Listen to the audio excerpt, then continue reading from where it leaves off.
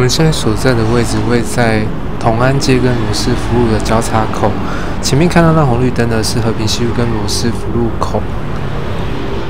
沿着画面往右手边带呢，现在看到我们的转角是一个马古茶坊，那对面是我们古亭捷运站的二号出口。今天要看的房子呢，是位于正同安街上一栋叫做中正杰作的建案。中正杰作的建案，从二号出口步行到我们中正杰作呢，约莫步行的时间是两分钟。画面往右手边带，可以看到在同安街侧边这边有一栋叫同心园的臭豆腐，非常的有名。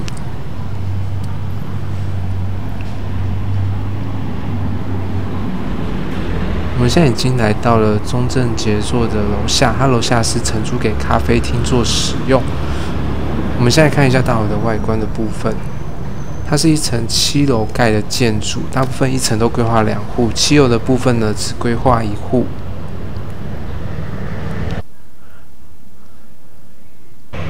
现在我们来到了大楼的侧边的部分，垃圾处理区呢位于一楼侧边。接下来我们直接进到我们的室内去看一下。首先，我们可以进来我们的一楼梯厅的部分，可以看到在右边的部分呢，是我们机械车位的出入口。我们要停车呢，要先经过外面的一个铁门。左边我们的公布栏，然后用铁门关住，这是我们逃生梯间。现在我们先看我们车位的等待区的部分。从外面的铁门进来呢，我们车位可以先在这边等待我们的机械车位的转动。现在看到就是黑色外面的铁门。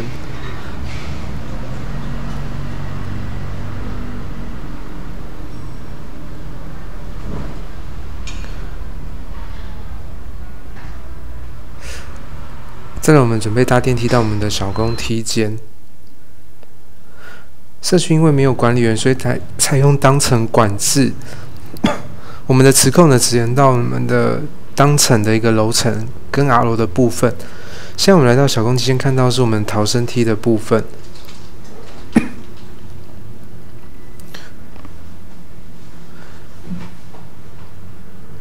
在我们准备进到我们的室内去看。首先，你进来是我们可以看到我们的开放式的一个空间。画面往左手边带呢，看到的是我们的餐厅跟厨房，还有两间房间，目前是没有隔间的。卫浴的部分呢，则是在厨房的旁边。接下来，我们现在看房子前半部的部分，也就是我们客厅的空间。我们房子最特别的部分是还有约定专用的大露台做使用，所以说如果家里有养宠物或者是种花花草草的，就非常的适合。首先我们来到是我们的露台的空间，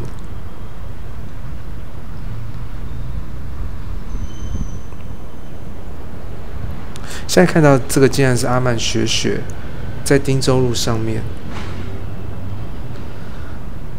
那下面这一条呢是晋江街跟同安街交叉口。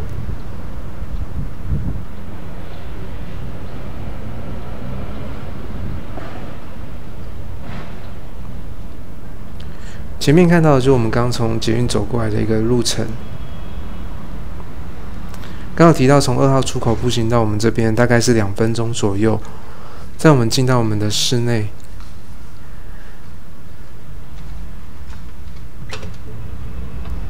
在我们的客厅的左侧呢，有一个小型的一个露台，从这边可以更容易看到我们的距离古亭街的距离。这边的朝向呢是比较朝向我们南昌路的方向。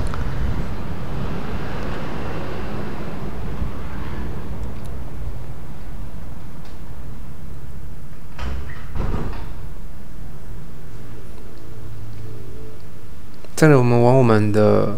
房子的后侧前进。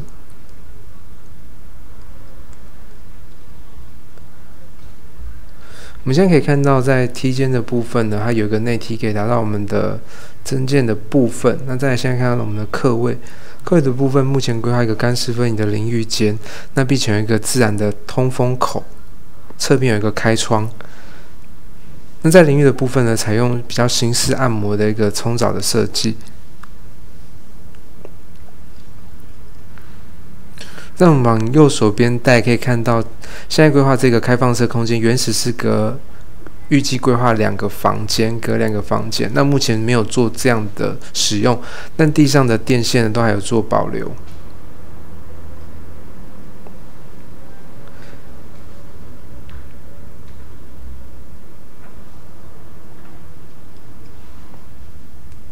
这边看到的是我们的一个小型的储藏间。空间不大，宽度约莫是五十公分左右，可以放我们的衣服。这两个房间的朝向呢，都是朝向我们的西北侧。在我们来到我们的厨房的部分，厨房的部分呢，目前厨具跟我们的厨具跟我们的冰箱呢，目前都还没有做规划，但是我们的管线，包含天然瓦斯管，都规划在这个部分。这边看过去的朝向一样是西北侧，跟刚刚两个房间一样。客厅是朝向东南面同安街的方向。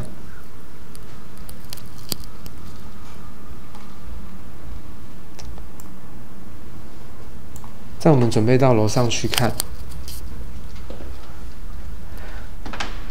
在上楼的路途当中呢，我们一样是楼上的卫浴的位置跟我们楼下的卫浴的位置是一样的。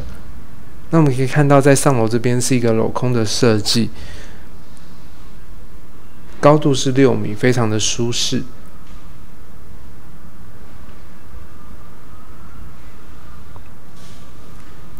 再来，现在看到的位置呢，跟我们楼下房间的位置很类似。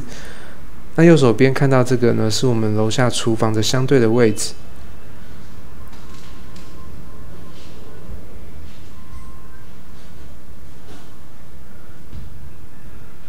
那这边则是跟我们楼下客位的位置同样的方向，大小也都一样，也都是用干湿分离的设计。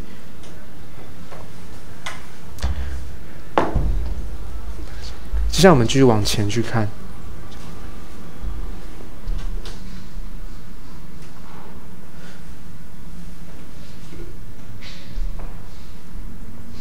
目前这边呢是我们楼下客厅的位置，我们没有做任何的隔间的规划。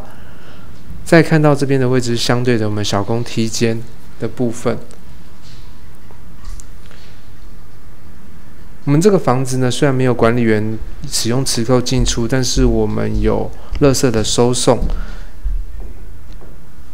在我们一楼的侧边，那每个每层楼呢，每户地下室有个储藏间。现在看到是我们看到楼下的露台的位置。步行到古亭街的二号出口，步行时间约莫是两分钟。学区的部分呢，国中是银桥国中，国小是合体国小以上。